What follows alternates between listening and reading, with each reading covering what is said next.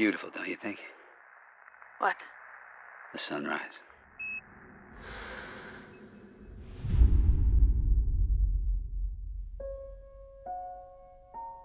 We wanted to do a film about adversities.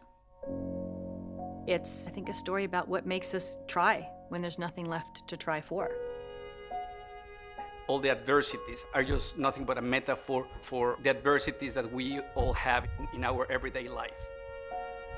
Through the journey that Ryan goes on, she ultimately makes the decision to choose life.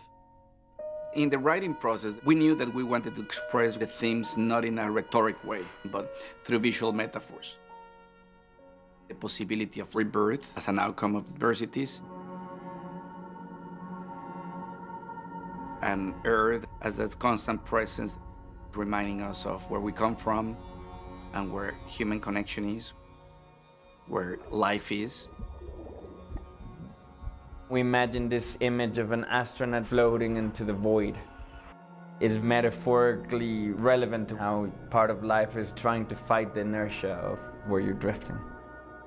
The first reason you ever want to make a film is that the script is very good and the director is very good. I love the screenplay, and I think that Alfonso is one of the most talented directors in the game. When you're writing, you're not thinking how you're going to make it happen. I have to say that I thought it was going to be much simpler. It was not until early on that we realized that we will need to create something new. Cut. Very good.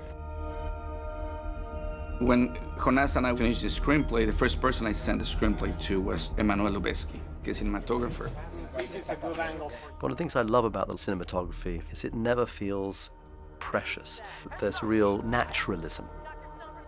You know, there are flares and there are mistakes, as it were, but no mistakes. It's all created. Alfonso has designed it around these extremely long shots, these very fluid 12 minute, 5 minute, or 3 minute long shots. It took a while to work out the best technique to do it.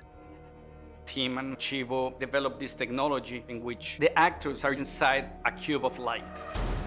The three main elements of the lightbox are the robot moving the camera, the light box moving the lights, and the tilt rig moving the actor.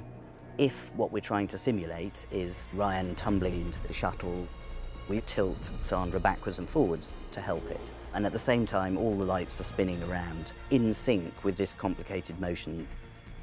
I mean, it was literally like these rigs had your life in their hands. If something broke, I had nothing to hold on to. Some camera came crashing through my face, nothing I could do, you just say goodbye. Sandra has this dancer background, so she took this approach of prepping herself for a very complicated choreography. She trained like crazy for five months so that she could work with those rigs without conveying the tension of the rigs. So in the moment of the performance, it's just pure expression. Whether it was the cage or whatever hmm. rigging system they had, you just embraced the pain because these were all unique creations of brilliant people who had to think of something that doesn't exist in order to make a movie Alfonso was told couldn't be done. Explorer, do you copy? Explorer, permission to retrieve Dr. Stone? The technology was never the motivation for making the film. We wanted to tell a story, and it was about developing the technology that was the only way that this story could be told. This film has raised the bar for the world of visual effects and CG and animation. The visual approach of the film, the camera is always moving. There's no up and there's no down, there's no right, there's no left. So we decided that the music and sound effects have to also be moving around.